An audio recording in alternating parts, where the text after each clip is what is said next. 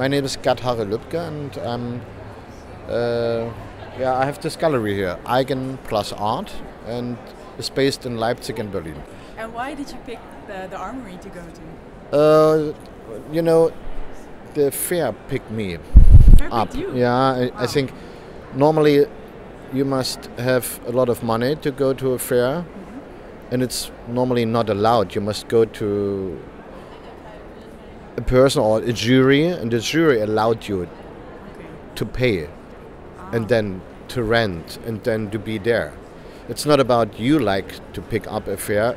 It's you must be in so in a high quality what you show that this fair allowed you to pay. So this is a very high-end uh, art show. It's one of the high end art, art show. Maybe Basel is a high high end. We also there. Or Armory is one of the best of the five.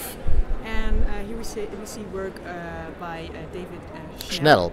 Could you tell us something about this uh, artist? Uh, David Schnell, look at this blue one there. A great piece, no? It is. Oh, yeah. and it's like it's it's like a painting, and this painting, what he really does is he never do it on an end where you not not can switch in. He do a painting like that you by yourself when you stay in front of the piece, you feel that you can go in with all your attitude, with all your biography, and you're growing up with this painting and the idea what's behind. It's a it's a piece with the audience and the art. And that's I really like. And it's a real painter, and he knows what's what's what it means to be a painter. He is 39, and he I think he has a great career.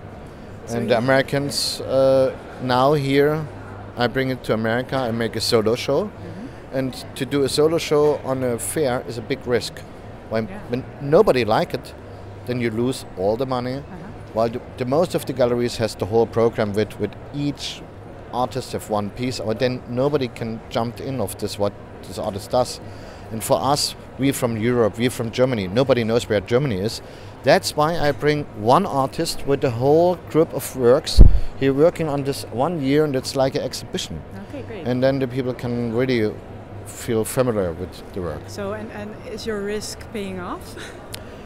Yeah, I mean, I do the money for to pay this fair before. But uh, So, have, you- and then- sold anything already? I sold anything already, yes. The big blue one we sold, Oh, and this one, and this one outside, and this one outside. It goes to great American collectors and private collectors, and also one or two to museums.